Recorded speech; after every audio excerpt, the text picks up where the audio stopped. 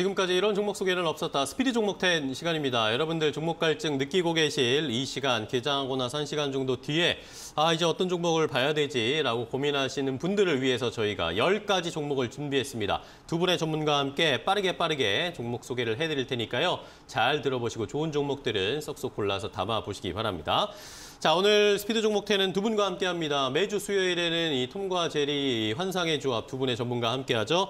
유스탁 유창희 대표 그리고 위드금융 정태근 팀장 나오셨습니다. 두 분 안녕하세요. 안녕하십니까. 반갑습니다. 자, 두 분이 또 오늘 좋은 종목들 많이 많이 가지고 오셨죠? 네. 기대해 보겠습니다. 어떤 종목이 있을지. 자, 그러면 두 분이 가지고 오신 10가지 종목을 바로 화면으로 공개하겠습니다. 자, 스피드 종목 10 10가지 종목입니다. 유창희 대표의 픽부터 볼까요? 삼성증권, 포스코, OCI, YG 엔터테인먼트, 강원랜드 이렇게 가지고 오셨고 정태근 팀장은 대원화성, 에넥스, 코오롱인더, 인텔리안테크, 휴맥스 이렇게 10가지가 준비되어 있습니다. 시청자 여러분들은 어떤 종목이 눈에 띄시나요? 자 유튜브에서 벌써 댓글로 많은 분들이 고독한 요원님이 수요일에 톰톰데이 기다렸습니다. 라고 이야기를 하셨고 어, 자연님도 두 분 어서 오십시오 라고 하시면서 인사를 해주셨습니다. 자 시청자 여러분들 저희가 아까 공개해드린 10가지 종목 가운데 더 궁금하다 어 이거 내가 매수하려고 했는데 매수가도 궁금하다 아니면 목표가 어느 정도로 잡아야 되나 궁금하신 분들은 유튜브에 댓글로 질문을 주셔도 되고요 아니면 문자 샵 3772번으로도 문자 주시면 두 분이 그런 내용 포함해서 최대한 자세하게 좀 설명을 드릴 테니까요. 많이 참여하시면서 시청해 주시기 바랍니다. 자, 그러면 바로 이 릴레이를 시작을 해볼까요? 먼저 유창희 대표님의 첫 번째 픽인데 삼성증권을 가지고 오셨습니다. 근데 네. 뭐 유튜브에 댓글로 고독한 여운님도 삼성증권이 왜 이렇게 많이 언급되지? 다른 전문가분들 몇 분이 계셨어요. 삼성증권 그런가요? 가져오신 분들이. 아. 왜 좋은가요? 미리 알려주셨으면 뺐을 텐데. 모니터를 뭐, 좀 해주세요. 네, 알겠습니다. 그 뭐냐 몸리 따지면은 뭐 테이퍼링을 하겠다. 또 우리나라 금리 인상을 네. 금리. 했고요. 또 빠르면 11월 달에도 금리 인상 가능성이 음, 그렇죠. 있는데 인상. 왜 그동안 제가 그전에는 은행주라든지 보험주를 언급을 했다가 그러니까요. 갑자기 왜 증권주냐 네. 금리 인상은 증권주는 안 좋지 않냐라고 생각하실 수 있겠지만 이 금리 인상이라는 개념이 예를 들어서 미국처럼 물가 인상 이런 상반 그러니까 그 상반기 때처럼 물가 음. 인상에 인상에 대한 어떤 인플레에 대한 우려감으로 금리 인상하는 거는 상당히 안 좋은 거지만 음. 경기가 좋아지면서 금리가 인상하는 거는 상당히 좋은 것입니다 엄밀히 음, 따지면 네네. 골디락스 장세가 이어질 수 있다는 것이죠. 그런 측면에서 봤을 때 오히려 어, 점진적인 금리 인상이 이번에도 그 어, 제가 어딘지 까먹었습니다만은 국내 우리나라의 경제 성장률 3.5%에 4%로 네, 어저께인가 4%. 그저께인가 그 뉴스 나온 거 봤거든요. 네. 그러니까 그렇게 이제 경제 좋아지는 거에 따른 금리 인상이면 증권주 나쁘지 않다 생각하고 있고요. 특히 이제 증권주들이 예전에는 위탁 수수료만 받다라면 혹은 어떤 펀드라든지 이런 금융상품 수수료만 받다라면 지금 어, 대형 증권사들은 IB 어, 투자 형식이기 때문에 어, 금융 투자 이런 부분들에 대해서 어떤 수익성이 상당히 좋아지고 있습니다.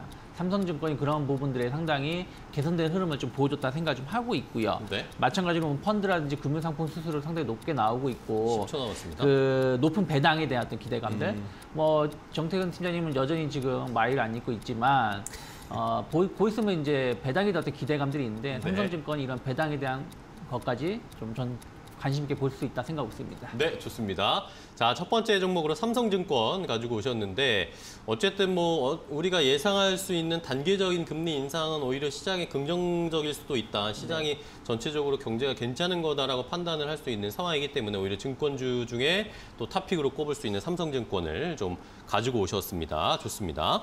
자, 그럼 이번에 정태근 팀장님의 첫 번째 종목은 뭔가요? 네, 오늘은 두 분의 톰톰을 보는 게 재미가 있을 것 같네요. 저는 빠지려 빠져야 될 것 같습니다. 아, 그러면 안 됩니다. 네, 어디서 날로 드시려고요. 네, 날로 먹다니요. 오늘 첫 번째 종목은 대원화성이고요. 대원화성. 대원화성. 최근에 리비안 오토모티브라는 회사가 IPO를 준비를 하게 되면서 관련주들이 좀 부각이 되고 있습니다. 리비안 같은 경우에 지금 기업 가치를 800억 달러 정도 추산을 하고 있는데 웃긴 건 현재 매출이 1도 없습니다. 제로입니다. 네. 그런데 아마존과 포드가 또 80억 달러를 투자를 했습니다. 그렇죠. 아, 이게 무슨 의미로 해석할지 모르겠지만 어쨌든 그만큼 니콜라 사태만 안 됐으면 좋겠어요. 그래서 그러니까요. 어쨌든 성- 사업을 성공했으면 좋겠고 그리고 어쨌든 그 배송용 승합차를 현재 아마존과 합작을 해서 만든 상황이기 때문에 이게 하반기에는 매출이 잡힐 것 같습니다. 그래서 일단은 상장을 하게 된다라면은 픽업 트럭 같은 경우는 미국 사람들이 상당히 좋아하는 그 차종 중에 하나거든요. 그렇기 때문에 상당히 그 타겟 마케팅을 잘했다고 생각이 들고 정말 테슬라의 대항마가 될 가능성도 있다라는 생각도 좀 말씀드릴 수 있을 것 같고요. 지금 R1T라는 픽업 트럭 그리고 R1S라는 SUV를 이제 출시할 예정인데 여기에 이 대원화성이 오. 친환경 시트 소재를 공급할 예정이라고 합니다. 그리고 그 이전에 이미 아이오닉 5의 친환경 소재를 이제 공급하고 있는 상황이고요. 그래서 일단은 처음 들어보신 분도 계시겠지만 일단 어쨌든 어, 회사 자체는 차곡차곡 이력을 쌓아 나가고 있다는 부분들 좀 보시고요. 그리고 어쨌든 그 IPO가 다가오게 되면서 이 관련 주들은 좀 관심을 가져야 되지 않을까 좀 생각에 좀 준비를 했습니다. 그리고 이 종목 외에도 남성이란지 에코캡 이런 종목들이 있으니까 참고해서 좀 보시고요. 차트상 보더라도 현재 월선과 가격 조정이 진행되는 상황이기 때문에 조정을 이용한 매수 한번 노려보시고요. IPO 완료될 때까지 한번 보시면 좋을 것 같습니다. 좋습니다. 자, 미국의 또 다른 전기차 업체 부각 요즘에 관심이 많아지고 있는 리비안과 관련된 이야기를 해주셨는데 어, 대원 화성이 또 여기에 엮여 있는 상황이다. 이 테마를 받을 수 있다라는 의견 주셨습니다. 자, 종목 소개해드리는 중에 중국 시장 개장이 있으니까 좀 확인을 하고 넘어가겠습니다. 어제 중국 시장이 어, 전체적으로 좀 그래도 상승하면서 어, 거래를 마감했는데 오늘은 뭐 보합권에서 일단은 출발을 합니다. 뭐 상승 하나 뭐 큰 폭이 없이 3,543포인트 선에서 중국 상해 종합지수가 출발을 했고요. 자, 홍콩 쪽도 역시 약보합권에서 0.03% 소폭 하락하면서 출발을 하는 상황인데요. 오늘 시장은 일단은 어, 뭐별 큰 움직임 없이 출발한 중국 시장 상황까지 체크를 해봤습니다. 자, 다음 종목도 주 소개를 해주셔야 되겠죠. 이번엔 유창희 대표님의 두 번째 종목입니다. 네, 포스코를 선정을 좀 포스코요. 했습니다. 네. 그 앞에서도 제가 금리 인상 뭐 테이퍼링 말씀드렸는데 네. 미국에서 이제 음, 지난주 별 볼 일 없었던 잭슨홀 그 결과를 본다라면 뭐 그 테이퍼링은 하겠지만 금리 인상은 상당히 지연시키겠다는 걸 확인시켜주면서 이제 미국 증시가 긍정적인 반응을 한 것인데 그렇다라면 그 금리 인플레에 대한 우려감들, 금리 인상에 대한 우려감으로 가장 최근 두세 달 사이에 영향을 받은 게 원자재 관련된 섹터입니다. 그렇죠. 어, 더 이상 원자재 가격이 올라갈 수 없지, 않, 없지 않겠냐 우려- 우려감들 그러한 것들 어떻게 보면 철강주라든지 이런 쪽으로 해가지고 기세 좋게 올라갔던 기업들이 하락세를 보여줬는데 어 근데 금리 인상이 좀 지연된다 생각했던 것보다는 빠르지 않다라면 다시 원자재주들이 좀 꿈틀거릴 수가 있다라는 어. 것이죠. 지금 알루미늄이라든지 구리 가격이 다시 한번 고점을 갱신하려고 하고 있는 모습을 보여주는 것도 그러한 부분이다. 그러면은 철관석 가격이 안정적인 상승세를 좀 유지할 가능성이 높다 생각을 좀 하고 있고요. 또 이제 그 인프라 투자가 계속 확대가 되고 있죠. 특히 이제 이번 달에 주목할 것이 이제 미국에서 3조 달러의 인프라 투자가 확정이 되느냐 여부가 상당히 어, 관전 포인트거든요. 9월 말 정도에 그 결정이 나기 때문에 그렇다면 이런 부분들에 대한 어떤 산업재 수요는 계속해서 늘어날 수밖에 없다 생각을 좀 하고 있고요. 또 전방 산업의 성수기에 어, 진입해서 이런 수요가 늘어나고 있다는 부분들 상반기 뭐 열연 강판이든 냉연 강판이든 후판이든 계속해서 가격 상승이 이루어지는 거 본다라면 네. 철강주들 한 번은 봐야 되지 않을까 생각하고 있습니다. 네, 좋습니다. 자, 금리 인상의 영향 여기에다가 아, 금리 인상이 좀 지연될 것이라는 영향 여기에다가 어, 인프라 투자 법안이 만약에 미국에서 통과되면 포스코 조금 더 갈 수 있을 것이다 라는 의견 주셨습니다. 자, 두 번째 종목 정태근 팀장님의 두 번째 종목은요? 두 번째는 NX입니다. NX. 네. 어, 정부에서도 이사 대책 이후에 추가 네. 공급 신규 택지, 공공 택지 입지를 발표를 했는데 어, 20 이전에 이사 대책에서 광명시흥 11만 호하고 그다음 14만 호 하게 되면서 25만 9천 호 정도 공급을 이제 발표를 했고요. 그리고 대선 후보들도 어쨌든 부동산 정책을 계속 얘기하고 있습니다. 여든 야든 대선 후보분들 같은 경우에는 일자리 부동산 정책에 대해서는 아마 어, 피하지 못할 겁니다. 그렇기 때문에 정책이 계속 나올 건데 만약 윤석열 후보 같은 경우는 청년 원가 주택 30만 호 이게 될지 모르겠지만 뭐 30만 호 네. 주택 공급 얘기하면서 250만 호 얘기를 하고 있고요. 그리고 그 이전에 이재명 후보 같은 경우에도 아시다시피 기본 주택 100만 호 얘기하게 되면서 250만 호 정도 또 공급 얘기를 하고 있습니다. 그래서 어쨌든 주택 공급을 늘리겠다는 얘기가 나오, 계속해서 나오고 있고요. 그리고 지금 민간 분양 같은 경우도 39만 올해 같은 경우 39만 호 거기다 공공 부분까지 50만 호 정도 공급이 늘어나고 있는 상황이기 때문에 이런 모멘텀들은 뭐 이미 있었던 얘기고요. 그리고 그동안 건설주가 많이 쉬었다가 최근에 다시 움직이는 음. 모습들이 나오고 있기 때문에 이와 관련된 인테리어란지 건자재 업체들도 동반적으로 봐야 될 것 같습니다. NX 같은 경우에는 그 기업 간 거래, 그러니까 건설회사 특판 비중이 65%입니다. 그렇기 때문에 어. 공공주택이란지 이런 그 주택 공급 얘기가 나올 때마다 이 건설사 쪽으로 직납품을 하는 회사들의 주가가 움직인 이유가 거기 있다고 좀 보시면 될 것 같아요. 그래서 이전에 뭐 NX 같은 경우는 대선 테마 후보로도 많이 부각이 됐었기 때문에. 한번 관심을 가져보면 좋지 않을까라는 생각에 준비를 했습니다. 네, 좋습니다. NX 어쨌든 부동산 정책이나 공약은 계속 나올 것이기 때문에 여기에 우리가 수혜를 받을 수 있는 종목을 하나 좀 미리 선별해서 넣어놓자라는 의견 주셨고요. 자 이번에는 유창희 대표님의 다음 종목인데 OCI 가지고 오셨습니다. 네. OCI에 대해서 유튜브에서 장민님이 어, OCI 관심 종목 중에 하나로 지금 살펴보고 있는데 지금이라도 좀 매수를 해도 괜찮을지 이 가격도 궁금하시고 또 센조님도 OCI 목표 가격 그럼 어느 정도로 잡아야 되냐 궁금해하시는 것 같은데요. 네, 뭐 저의 흐름 오늘의 오늘의 테마는 금리서부터 인프라 투자, 소비 쪽으로 이어진다고 보시면 어, 되겠는데 네. 지금 이제 인프라 투자 쪽으로 보시면 되실 것 같아요. 무슨 얘기냐면 말씀 앞에서도 말씀드렸지만은 9월 달에 이제 미국에서 대규모 3조 달러 이상의 인프라 투자가 확정이 된다라면 다시 한번 신재생 에너지 쪽으로 관심이 높아질 수가 있다라는 것이죠. 작년 바이든 정부가 출범한 이후로 신재생 에너지 관련된 종목군들이 이렇다 할 모습을 보이지 못했거든요, 막상. 하지만 이제부터는 좀 관심을 좀 가져볼 필요가 있지 않을까 생각 좀 하고 있고요. 그리고 이제 그 뭐라 그럴까요? 최근에 보- 제가 원자재 가격 말씀드린 것처럼 소비가 계속 증가하고 있고 유가가 다시 꿈틀거리고 있다는 것이죠. 네. 그럼 유가가 상승한다는 얘기는 다시 한번 또 신재생 에너지 쪽에 또 관심이 더 높아질 수 있는 부분들이 좀 있어서 그러한 부분들을 좀 맞춰보시면 좋다 생각하고 있습니다. 그래서 폴리실리콘 가격의 안정적인 흐름들 그리고 OCI가 몇 번 말씀드렸습니다만 업황이 피크냐 아니 그러니까 업황 상승 업황 상승 사- 상승 사이클이 초기냐 아니면 실적이 피크냐 요거에 대한 어떤 딜레마 있는 상황에서 저는 업황 상승 쪽으로 좀 포커스가 맞춰지고 있는 것이 아닌가 그러다 보니까 최근에 조정이 나오고 나서 다시 좀 V자 반등에 성공하게 된 요인이 되었다 생각을 좀 하고 있습니다. 그래서 만약에 공략을 해보신다라면 어찌되었든 지금 1년 동안 상단이 14만 원 하단이 11만 원 정도에서의 어, 흐름이 그려진 상황이기 때문에 지금 딱 중간 자리라는 것이죠. 근데 저는 여기서 추세 상승에 대한 어떤 기대감들을 좀 보고 접근하는 것이라서 일단 단기 목표가는 어, 15만 원에서 16만 원 정도 열어놓으시고 어, 매수 가격대는 12만 원 초반에서의 어떤 지지선이 어떻게 확인되는지 여부 반대로 13만 원 돌파가 된다라면 추격 매수 가능하다 생각하고 있습니다. 네, 좋습니다. 자, OCI에 대한 매수 가격, 매수 적절한 카 타이밍 가격 알려주셨고 목표 가격도 알려주셨으니까요. 시청자 여러분들 잘 참고해 주시기 바랍니다. 자, 다음 종목으로 또 바로 갈까요? 이번에는 어, 정태근 팀장님의 세 번째 종목이죠. 네, 세 번째는 코오롱 인더입니다. 코오롱 인더. 최근에 여기 종목도 많이 언급이 될 것 같아요. 많이 될 그러니까요. 것 같은데 그만큼 좀 호재가 있다라 좀 봐야 될 것 같은데요. 일단 그 수소 모멘텀인데 그 현대모비스가 1조 3천억을 들여가지고 수소 연료 전지 공장을 만들 예정입니다. 그래서 그 인천 청라 공장에서 이 수소 연료 전지의 핵심 부품이 되는 연료 전지 스택을 만들어 가지고 울산 공장 쪽으로 납품을 하고요. 그래서 울산 공장에서 수소 연료 전 수소 연료 전지 시스템을 최종적으로 제품화를 진행합니다. 그리고 현대차 같은 경우도 2025년까지 수소차를 50만 대 정도 어, 생산을 늘린다고 하기 때문에 수소 모멘텀은 분명히 좀 있다라고 좀 봐야 될 것 같고요.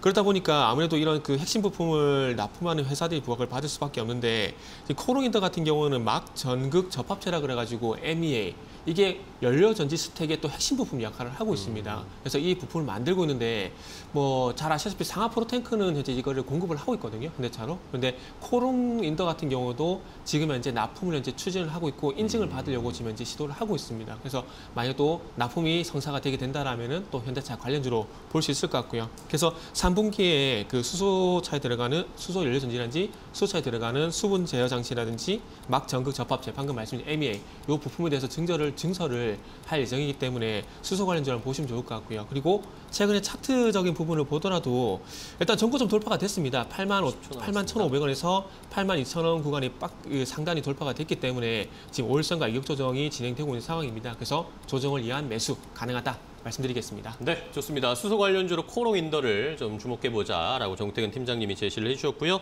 자, 다음 종목 유창희 대표님의 네 번째 종목으로 바로 이어갈게요. 네, YG 엔터테인먼트 선정을 네. 좀 했습니다. 엔터주 어. 괜찮을까요? 네, 뭐 엔터주 저는 나쁘지 않게 보고 있습니다. 네. 왜요, 엔터주 뭐. 아니 중국에서 일단은 뭐 델타 변이에 대한 우려감이 있었음에도 불구하고 경기 회복에 대한 어떤 기대감들 어, 계속 나왔고요. 그리고 그러면서 이제 델타 변이 바이러스가 기점으로 하면서 위드 코로나의 어떤 흐름들이 어, 좀 발빠르게 각 국가별로 나오고 있다는 것이죠. 그러면 뭐 대형 기획사들, 뭐 엔터사들은 나쁘지 않다 어, 생각을 좀 하고 있고요. 그리고 이제 주요 아티스트들이 복귀를 했습니다. 화면을 보시기엔 제가 한 스무 살로 보이지만 제가 좀 아재예요. 그래서 뭐 블랙핑크를 그렇게 네. 썩 좋아하는 네. 그잘 따라 흐름을 따라가지 못하지만 상당히 인기가 많다는 것이죠. 그러한 부분들이 YG 엔터테인먼트의 어떤 하반기 실적을 좀 더 견인시킬 수 있다 생각을 좀 하고 있고요. 그리고 이제 어, 좀 봐야 될 게 플랫폼 사업입니다. 그러니까 무슨 얘기냐면 네네. 엔터사들이 기획사들이 실적을 좋게 보이는 것 중에 하나가 예전에는 방송 광고 뭐 이거에 국한되었다라면 최근에는 이제 OTT 서비스라 해가지고 여러 플랫폼을 해서 방송이 나가고 있지 않습니까? 특히 유튜브 같은 경우 특히 이제 예전에 만들었던 어떤 작품들이 계속해서 소비가 되고 있다는 부분들 그것들이 계속해서 수익성을 창출하고 있기 때문에 상당히 이런 부분들에 대해서 어떤 매출 증가는 계속해서 이어질 수밖에 없다 생각을 좀 하고 있습니다. 네. 특히 이제 YG 오, 엔터테인먼트는.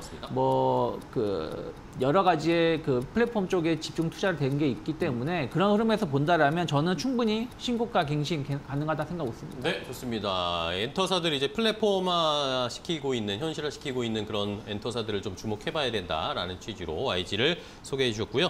자, 다음 정태근 팀장님은 뭐죠? 어떤 종목이죠? 네. 다음 종목은 인텔리안 테크고요. 네, 인텔리안 테크. 오늘 두 분 보는 재미가 있네요 오늘.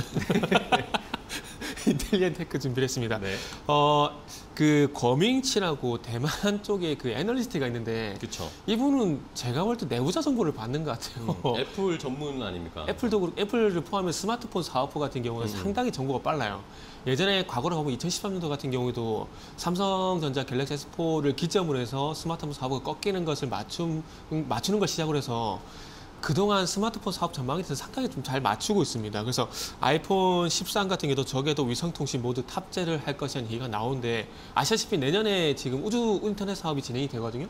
그래서 거기에 발맞춰가지고 아마 그쪽에 좀 정보를 이번 좀 들으신 것 같아요. 그래서 상당히 신빙성 있는 정보를 많이 가지고 있기 때문에 이 위성통신 모드 같은 경우도 탑재될 가능성이 높다라고 좀 봐지고요. 음, 네. 그리고 최근에 하나 시스템이라는 기업이 이 시간 통해서도 소개를 해드렸는데 원웹이라는 회사에 투자를 했습니다. 이 회사 같은 경우 우주 인터넷 사업을 진행을 하고 있고 내년까지 위성을 648개나 쏘아 올린다고 합니다. 돈이 엄청나게 많은 것 같아요. 그래서 1세대 위성망을 구축을 해가지고 글로벌 우주 인터넷 시- 서비스를 시작을 할 건데 그 회사에 지금 가정용부터 기업용까지 다양한 안테나를 현재 수주를 받고 또 발주를 해주고 있는 상황입니다. 납품하고 있는 상황입니다. 그렇다 보니까 인터넷 테크도 마찬가지로 관련해서 볼수 있을 것 같은데 어쨌든 이 우주 인터넷 사업에 대한 얘기가 나오게 되면서 최근에 또 추세가 또 전환이 되고 있는 상황입니다. 그래서 차트도 보신 바와 같이 최근에 그렇죠. 거래량이 실려주게 되면서 추세 전환이 되고 있기 때문에 한번 어, 여기서 추세 전환을 노리는 타이밍을 한번 잡으면 좋을 것 같습니다. 네, 좋습니다. 인텔리안 테크까지 확인을 해봤고요. 이제 두 분이 한 종목씩 남겨두셨는데 저희가 어, 셋다 말이 많아가지고 어, 시간이 좀 모자릅니다. 그래가지고 간- 마지막 종목은 간단하게 좀 정리를 해주실게요. 네, 오늘 강원랜드 마지막으로 선정을, 선정을 했는데요. 네. 아까 말씀드린 것처럼 위드 코로나, 음. 백신 접종에 대한 어떤 확대로 인해서 코로나를 이제 좀 독감처럼 관리한다는 부분들은 뭐 경제 활동이 더 활발해질 수밖에 없다 네. 생각을 좀 하고 있고요.